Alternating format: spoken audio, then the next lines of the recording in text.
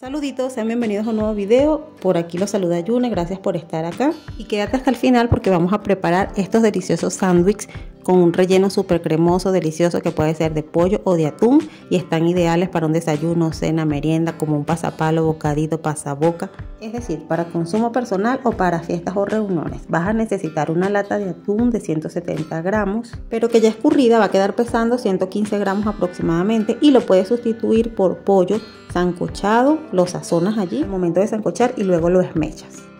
Seguidamente le agregamos media cucharada de zumo de limón. Si lo estás haciendo con atún va a balancear el sabor y si lo estás haciendo con pollo va a darle un toquecito bien rico.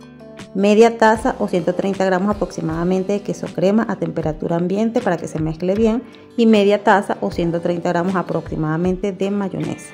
Y esto lo vamos a mezclar hasta que se integre y nos quede homogéneo. Añade un cuarto de taza de cebolla morada finamente cortada, luego una cucharada de mostaza y si viste mi receta anterior a lo mejor piensas que es la misma, pero no, quédate allí que vamos a agregar otros ingredientes por acá. Dos cucharadas de cebollín, cebollino o cibulec, preferiblemente cibulec que es la hojita más delgadita porque esa da como más sabor. Y vamos a mezclar. Y por acá viene el ingrediente extra con respecto a la receta que les compartí en días pasados, que es 4 cucharadas de pepinillos agridulces finamente cortados o lo más pequeño que ustedes puedan. Y también le voy a agregar media cucharada del líquido en donde vienen los pepinillos. Créanme que queda súper rico, le, le, da una explosión de sabor demasiado deliciosa. Y yo voy agregando ingredientes y mezclando, pero ustedes pueden agregar todo y mezclar de una sola vez. Agrega sal y pimienta negra, cantidad al gusto. De todas maneras, luego vamos a ir rectificando el sabor para ver si necesita más o no. Seguimos con un tercio de taza de granos de maíz dulce. Puedes comprar el que viene en lata y lo escurres.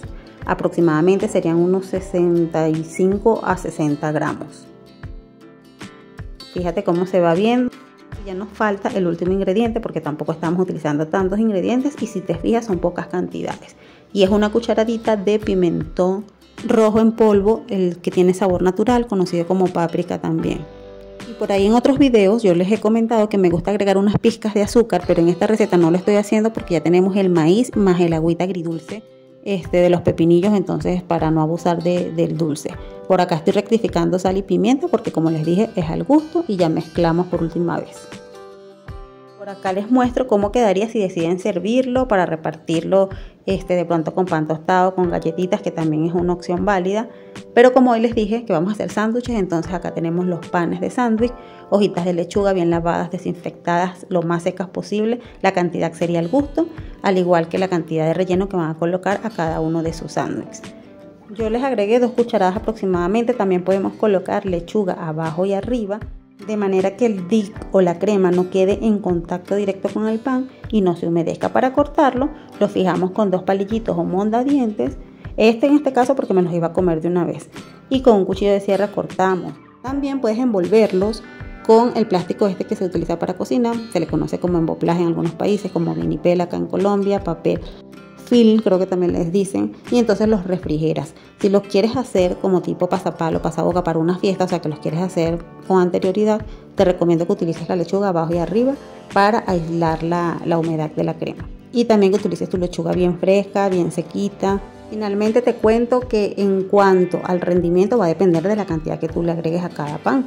Con unas dos cucharadas que yo le agregué me puede rendir para unos 12 sándwiches aproximadamente. Si los cortas en dos ya tienes 24 eh, bocaditos para repartir, ¿ok? Entonces, bueno, yo te voy a dar las gracias por haberme acompañado en este video. Espero que te haya gustado. Si es así, déjamelo saber en la sección de comentarios y dejándome un dedito arriba. También puedes compartir el video para que me ayudes a llegar a muchas más personas. Y te invito a tocar en cualquiera de las tarjetas que te están apareciendo en pantalla, ya que te van a llevar a más videos de este canal. Suscríbete si no lo has hecho, activa la campana de notificaciones en opción de todas, comparte, guarda el video. Chao, chao.